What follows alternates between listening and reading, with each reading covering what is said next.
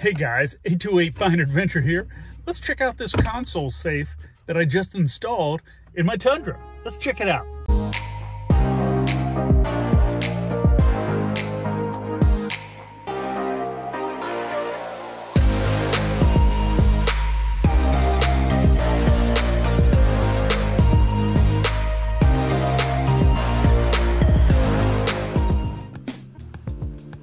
Okay, y'all. So, I bought a safe that goes in the console of my truck. It bolts in, it has a combination and keys. Now, you don't need this if you just, you know, drive the kids to school in your truck or vehicle or whatever. And by the way, they do make these for several different types of vehicles. Anyways, so, you know, if you keep valuables in your truck and leave them there while you go inside somewhere, maybe the gym, the grocery store, leave your truck at a trailhead, whatever, you might want to get one of these just to secure some things. If you carry valuables like an EpiPen, you know, a weapon of any sort, things like that. It's good and it gives you a kind of a sense of security. Now, the old saying goes, if they want it, they will get it. You know, and you know, but this is pretty secure and bolts in. Um, interestingly enough, it came in like four boxes, like a Russian, uh, like those Russian dolls, nesting dolls.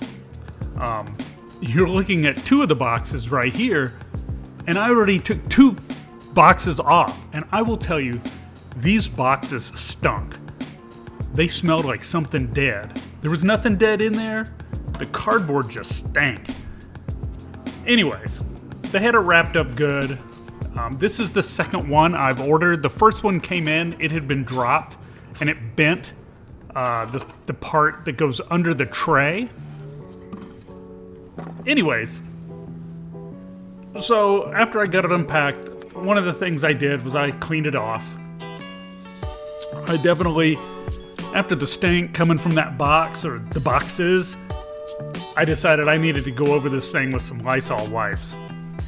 So that was the first thing I did, and then I started organizing the parts.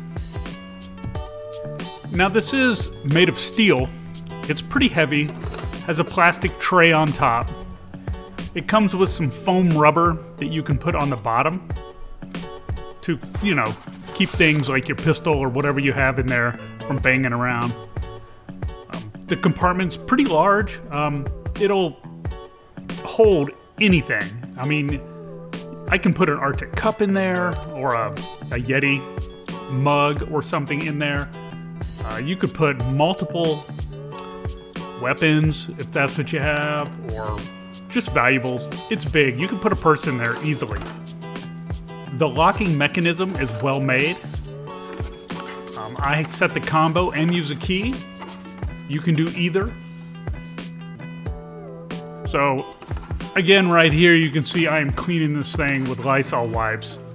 You know, I don't know who handled this last. Maybe it was a Friday and they were eating chicken fingers. I don't know. But I wanted to clean it off just so I could handle it and feel good about it. So here's what you get.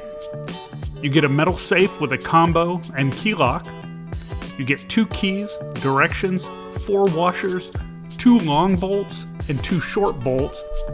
The short bolts go towards the front of the vehicle. You also get a tray and some foam pads to go in the bottom of the safe. The first thing you do after you get all your tools together, and you will need a 10 millimeter socket with some extensions, is you pull up the felt pad on the bottom of the console that comes from the factory. You pull that out, you can see the four 10 millimeter bolts. Go ahead and remove those and set them aside you can save those for later if you ever remove the safe. Now, carefully bring the safe into your vehicle. Because it's heavy, you don't want to bang it into something, it'll do damage to your interior. And set it in the hole of the console.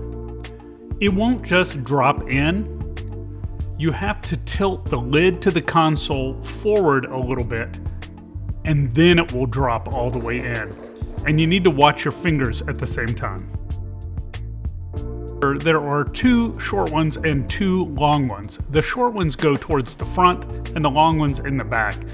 You'll see what I'm talking about in the bottom of the safe when you go to do this. The console has recessed areas where these bolts go in, so only the short ones will work up front and the long ones in the back. You'll see what I'm talking about when you go to install it.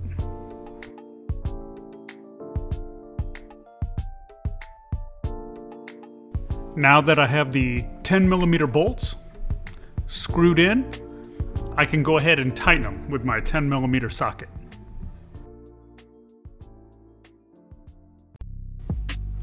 The combination and key lock is very good quality. It comes with very good directions on how to set that combo. You don't have to, you could just use the key. The little knob that you see where I put the key in turns to the left or right. It has a red or green indicator. This will allow you to open and close the safe using the combo. I was a little hesitant again about putting instructions on how to set this combo because I would have to disclose mine. But anyways, the directions are really good, and when you get the safe, you can read them and set it really easy. So here it is all installed. It has the foam at the bottom of the compartments. Here's the tray that goes over the opening. And it does have a place for a wire to come out if you need to use the power that's inside the console. Again, the lock is really good quality, all metal, very sturdy. I was happy with the quality of this console safe once it finally got to me. Well, I hope you enjoyed that video of me installing that console safe to keep my valuables protected. You never know. You just want to make it harder for the thief to get away with your stuff. If he has to waste too much time, he'll move on. Anyways, I uh, hope you enjoyed the video. If you would, please subscribe and hit the like button. I would really appreciate it. I've got a bunch of videos coming, so stay tuned. See you next time.